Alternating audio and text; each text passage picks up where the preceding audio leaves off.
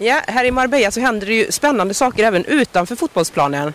Eh, Rodén har blivit jagad av apor, stämmer det? Mm, apa. Apa? Mm, det var en sån liten apa som sprang efter honom. Han var skiträdd. Han, I Gibraltar? I Gibraltar. Där hände det grejer. Kan du berätta mer vad, exakt vad som hände? Nej, vi kom ut från taxin och så eh, stod vi där och så sa Mackan, Mackan hade berättat innan liksom att han, hans två bästa polare i Ulricehamn har- hade fått eh, arab, vad heter det?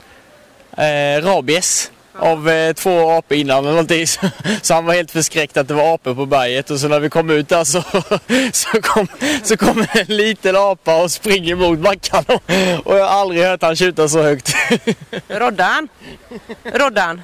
Stäm, stämmer detta?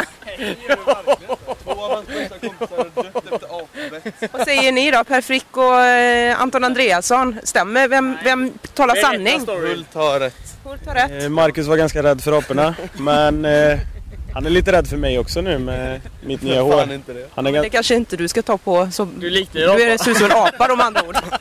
Ja. ja, men han är ganska lättskrämd. Ja, men Roddan, eh, blev du jagad av apa? Ja, det blev Han jagar mig. Hur stor var den? Stor. Sa så här. Nej, Nej. så kanske.